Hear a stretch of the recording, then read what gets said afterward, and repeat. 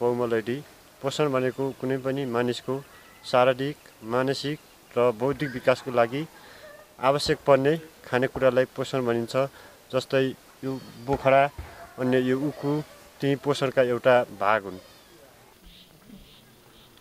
यो सिस्नो किन टिप्नु भएको हो बहिनी? यो तरकारी खानलाई। ए यस्तो पनि खान्छन् र? हो यो खानको लागि टिपेको मिठो हुन्छ? मिठो हुन्छ यसलाई पकाउन जान्यो भने। अनि अरू केही फाइदा पनि हुन्छ कि मिठो मात्रै हुन्छ? नै यसबाट धेरै फाइदा हुन्छ। धेरै पोसिलो हुन्छ यसबाट हामीलाई धेरै भिटामिन पाइन्छ। ए बहिनीहरूले त धेरै राम्रो कुरा जान्नु भएको रहेछ।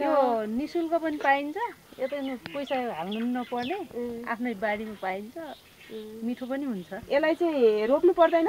पर्दैन पर्दैन यो आफै उम्रिन्छ। यस्तै कान्ला ढिगमा जताततै नमस्कार बहिनी। ओहो दिदी नमस्कार। ल बस्नुहोस् न। धन्यवाद। आरामै हुनुहुन्छ? हजुर कताबाट आउनुभयो आज? ए म त घुम्दै यसो बहिनीसँग भेटघाट गरौँ भनेर आएको। के गर्नु लाग्नु भएको? म त सिस्नु पकाउनु लागेको दिदी।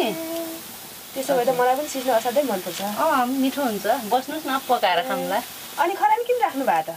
हामी त यस्तै गरी पकाउँछौँ दिदी। ए हो र? हजुर। अनि त्यही खरानी राखेर घोटेर खानुहुन्छ? होइन होइन। यसलाई फेरि यहाँ यसरी उमालेपछि धारामा लगेर फेरि पखालेर अनि भुट्ने। अचम्मको तरिका थाहा पाएँ त हो मैले त। हामी त यस्तै गरी खान्छौँ। मिठो हुन्छ भन्छन्। हो र? हजुर। अनि तपाईँले मात्रै हो कि तपाईँको अरू गाउँको दिदीबहिनीहरूले पनि यस्तै गर्नुहुन्छ? होइन होइन दिदी हामी त सबैजनाले यस्तै गरी पकाउँछौँ।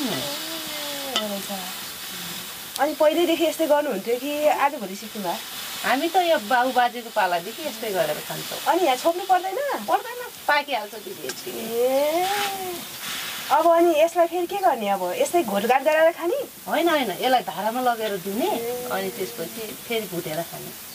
आज त अचम्मै नयाँ कुरा थाहा भयो त मलाई। हुन्छ हुन्छ। म बनाउँछु खानु होला हुन्छ एकदम मिठो हुन्छ यस्तो गऱ्यो हुन्छ हुन्छ। ए, हस्। धन्यवाद। कति बेला हो? यो सिस्नु पाक्यो कि नै। छोराछोरीले भोक मानिसके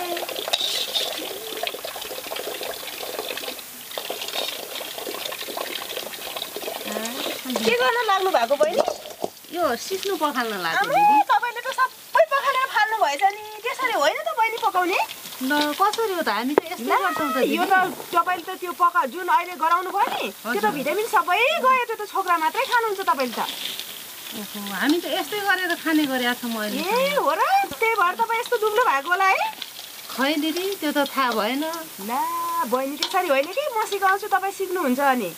ए कसरी गराउँछन्? सिकाइदिनु नि त। ए हेर्नु न बहिनी त्यो सिस्नो जस्तै हजुर हजुर। यो साग हरियो तरकारी जति हुन्छ नि। यसलाई पहिला राम्रोसँग धुने के बहिनी? यसरी हेर्नुहोस् है त। यसरी धारामा मजाले धुने। पहिला सिस्नो साग जे साग भइदिउँ कि खोले साग हुन्छ होइन। अरू फापर तोरी रायो जेसको साग भए पनि यसरी साग मात्र धुने। साग मात्रै होइन कि बहिनी? त्यो सिस्नो होइन। तरकारीहरू यसरी धुने पहिला राम्रोसँग होइन? यसरी धोइसकेपछि अनि अरू म बहिनीलाई सिकाउँदै गर्छु नि त है। हुन्छ। ए उसो भए त्यो सिकाउनु है। त्यो सिस्नो पनि त्यस यसरी नै धुनु होला है बहिनी। अब यसरी हातले समाउनु सकिन्न तर चिन्ताले यसरी भाँडामा राखेर मजाले धुने गर्नु होला। हुन्छ बहिनी? हुन्छ अनि यसो गर्ने है राम्रोसँग धुनुपर्छ नि फेरि। माटोहरू हुन्छ कि यहाँ? फोहोर हुन्छ होइन? यसरी मजाले हामी त त्यो सबै फोहोर फाल्नलाई यस्तो अनि कतै कतै त मिठो पनि हुन्न भन्छ नि त बहिनी। यस्तो गऱ्यो भने त हामी मिठो मान्दैनौँ नि। ला। त्यो मिठो जिब्रोको लागि मात्रै हो र बहिनी यति छोटो जिब्रोको लागि त्यत्रो शरीर खत्तम गर्ने। हामी त यस्तो गऱ्यो भने मिठो मान्दैनौँ अनि यस्तो गऱ्यो भने मिठो हुन्छ भन्छ होइन कि? बहिनी अब धारा बन्द गर्नुहोस् त पानीले छ्यापे मलाई त। ल ल ल उसो भए सिकाउ न त यो पनि। अब यसरी म तपाईँलाई सिकाइदिन्छु सिक्नुभयो भने सधैँलाई हुन्छ नि त बहिनी है? हुन्छ हुन्छ। यसलाई यसरी मजाले केलाउने होइन? किराहरू केही झारहरू छ कि भनेर हेर्नुपर्छ। सिस्नोमा पनि त्यस्तै हो कि बहिनी? अनि अरू सागहरू हुन्छ नि त्यो पनि त्यस्तै गरी धुनुपर्छ अनि त्यसरी नै यसरी हेर्ने सबै तरकारी कि बहिनी? अब यसो गर्ने हुन त अब गाउँघरमा तपाईँको पौराणिक चलन के? पहिलेको पहिलेका मान्छेहरूले त्यस्तै गर्छन् होइन? त्यो गर्दा सबै भिटामिनहरू नष्ट हुन्छ। अब खरानी हालिहाली फटफट पकाउने चलन छ। अनि पखालेर त जम्मै जान्छ कि बहिनी? अनि त्यही भएर हामी अहिले यस्तो तरिकाहरू पनि सिकाउँदैछौँ। मैले त मेरो घर परि घरमा यसरी नै पकाएर खान्छु। अरू दिदीबहिनीहरूलाई नि यसै सिकाउँछु। तपाईँहरूको पेट दुख्दैन? यस्तो खायो भने त पेट दुख्छ भन्छन् नि हाम्रोतिर ला। बहिनी एकैचोटि यति धेरै खायो त जसले नि पेट दुख्छ नि। अब दुध दही माछा मासु पनि त धेरै खायो भने त अपच हुन्छ होइन? अब थोरै ठिक्क दिनदिनै बरु धेरै खानुको सट्टा दिनदिनै खायो भने धेरै राम्रो हुन्छ नि। अब यसरी केलाइसक्नु भयो भने अब यसरी केलाएर यसरी टुक्रा टुक्रा बनाएर राख्दा पनि हुन्छ होइन? यसरी केलाउँदा पनि हुन्छ है बहिनी? अनि काट तपाईँको कहाँ यसो चक्कु छ भने यसरी चक्कुले काट्दा पनि हुन्छ आँसीले काट्दा पनि हुन्छ है? यसरी काट्दा पनि हुन्छ यसरी। तर धेरै मसिनो गराउनु भयो भने जति मसिनो गराउनुहुन्छ त्यतिकै भिटामिन नष्ट हुन्छ। बुझ्नुभयो मैले हजुर हजुर। पकाउने पनि तरिका होला नि दिदी यसको। मजाले म हजुरलाई सबै सिकाइदिन्छु। अनि दिदी बहिनी मिलेर खाउँला नि त हुन्न? आज कति दिनपछि बहिनीसँग भेट भएको? हजुर हजुर।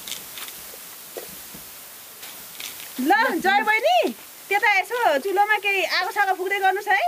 हामी त साग केलाउँछौँ अनि पकाएर खाउँला। मिठो साग खानु पाए नि भयो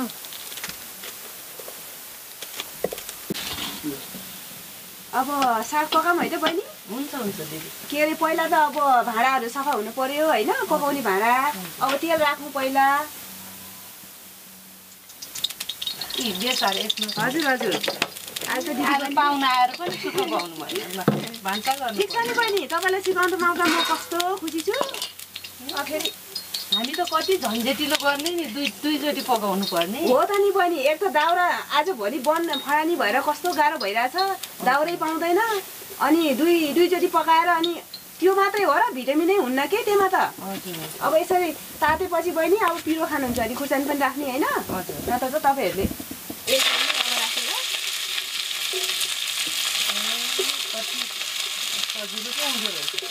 सजिलो हुन्छ कि? बेकार राख्नु चाहिँ हुन्छ नुन एकैछिनमा राख्दा नि हुन्छ यसो भुटेर है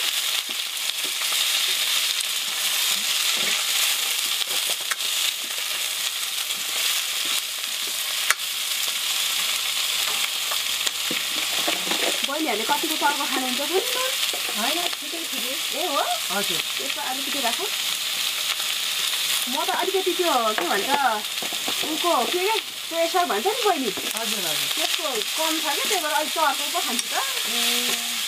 यसलाई यसरी भुट्ने होइन? हजुर हजुर। भुटिसकेपछि अब यसलाई छक्क छोडिदिनु कि बहिनी?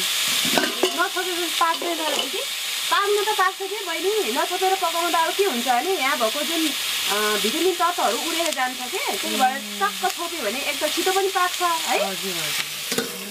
हामी त कहिल्यै नछोपेर पकाएको ए हो ए बहिनी अब त्यस्तो कुराहरू बिस्तारै छोडेर अब नयाँ कुरा पनि सिक्नुपर्छ। हजुर? म पनि यस्तै गर्नु ए, पर्ला ल।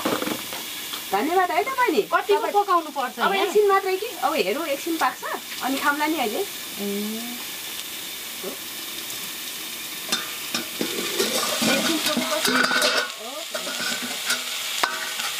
यस्तै हो बहिनी मेरो त छैन खत्राङ यसरी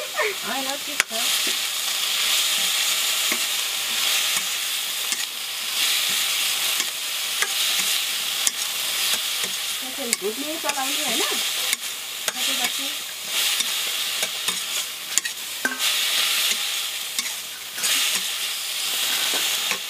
तपाईँको रुचि अनुसार ए यत्तिकै पनि खान सक्नुहुन्छ कि बहिनी धेरै फास्टो त पकाउनै पर्दैन। अनि यसलाई अब यसरी उतारौँ यस्तो बनाएर खानु पर्दो रहेछ एकदम राम्रो बहिनी। अब कतिपय मान्छेहरू त अब काँचै खाने जातको सागहरू पनि हुन्छ होइन। काँचै पनि खान्छन् बहिनी। ल चाख्नुहोस् त कस्तो भयो? ओहो साह्रै राम्रो पो देखिँदो रहेछ त। हो नि बहिनी। रोटी छैन कि बहिनी अहिले? रोटी- रोटी? र साग खाउँला नि। हुन्छ हुन्छ। अनि पछि पकाउँला एकछिनमा रोटी। अहिले यति साग खाऊँ न खाऊ है। तपाईँलाई कतिको मनपर्छ? मलाई त एकदम धेरै मनपर्छ। कस्तो मिठो भयो रहेछ नि यो त? ए एकदम मिठो बहिनी ओहो। अनि बहिनीले अब यो साग मात्रै होइन नि त्यो सिस्नोलाई पनि यसरी नै पकाएर खानुपर्छ कि? यसरी घोट्ने होइन? हजुर। अनि राम्रोसँग पखालिसकेपछि यसरी नै पकाएर खाने हो है। हजुर अनि साथमा अरू सम्पूर्ण हरियो तरकारीहरू यसरी नै छोपेर पकाएर खाने है त। हामीले त खायौँ। अब हजुरहरूले पनि यसरी होइन त साग खानु पर्यो त। यहाँ यस्तै। यो साग भन्ने चिज हामी चिन्दै चिन्दैनौँ के हो साग? चट चटनी खाने। चटनी पनि चिन्दै चिन्दैनौँ। हुँ। हामी त पहिल्यैदेखि दाल र भात मात्रै खाएका मान्छे। मुला मुला खाने? मुला राखौँ? नै म खाँदैन खाँदैन। मेरो बानी नै छ दाल र भात मात्रै खाने। कागती? अहँ, खान्न। त खानु पर्यो नि अलिक स्वस्थ हुनु पर्यो अलिक मोटो घाटो। मात्रै खान्छु। तपाईँ खानुहोस्। साग खानु पर्यो कागती मुला अनि चटनी सबै खाएर पो मोटो भर्खरको। मान्छे त बुढो जस्तै देखिन्छ त तपाईँ त। स्वस्थ हुनु पर्यो नि। मात्र खाएर मात्र त होला त। ल। यी भनेका सन्तुलित भोजनका स्रोतहरू हुन् जस्तै यहाँ शक्ति दिने खाना पनि छ शरीर वृद्धि गर्ने खाना पनि छ शरीर सुरक्षा गर्ने खाना पनि छ जस्तै शक्ति दिने खानामा कोदो चामल गहुँ मकै फापर सकरखण्ड चिनी उखु मह घिउ तेल मक्खन नौनी बोसो आलु पिरालु तरुल गिठा भ्याकुर सकरखण्ड पर्छन् भने शरीर वृद्धि गर्ने खानामा माछा मासु फुल दुध दही मही खुवा बदाम फर्सीको बिहा तिल ओखर बदाम भटमास मास मसुरो चना केराउ सिमी बोडी जस्ता कुराहरू पर्छन्। त्यसै गरी शरीर सुरक्षा गर्ने खानामा सिस्नो कर्कलो रायो चम्सुर मेथी तोरी मुलाको पात फर्सीको मुन्टा बेथे पालुङ्गो अनि पहेँला फलफुल जस्तै आँप सुन्तला कागती अम्बा भुइँकटर खुर्सानी आलु आलु बखडा ऐसेलु चुत्रो काफल लिची अनि अनि तरकारीहरू फर्सी काउली गोलभेडा रामतोरिया सिमी बोडी गाजर गोलभेडा आदि। यिनी सम्पूर्ण यी स्रोतहरू शक्ति दिने खाना शरीर वृद्धि गर्ने खाना र शरीर सुरक्षा गर्ने खाना अन्तर्गत पर्दछन्। यो सधैँ दैनिक रूपमा सेवन गर्यो भने मानिसमा आउने विभिन्न समस्याहरू जस्तै रक्त अल्पत्ता रतन्डो कुपोषण जस्ता रोगहरूबाट सहजै मुक्त हुन सकिन्छ। पोषणको फाइदाबारे भन्न गइराखेको छु एक रक्त अल्पता कम हुन्छ दुई रतन्दो लाग्दैन तिन आर्थिक बचत हुन्छ। पोषणको त्यति मात्र फाइदा कहाँ हो र? अझै धेरै छन् जस्तै कुपोषण हुँदैन एउटा फाइदा अर्को त्यसै गरी समयको बचत पनि हुन्छ र अर्को स्थानीय स्रोतको प्रयोग हुन्छ। सन्तुलित भोजन दिनदिनै खाने गरेमा पन्ध्र दिनदेखि एक महिनाभित्र केही न केही भिन्नता पाउन सकिन्छ तर मानिसलाई स्वस्थ भइरहन सन्तुलित भोजन सधैँ खान आवश्यक छ।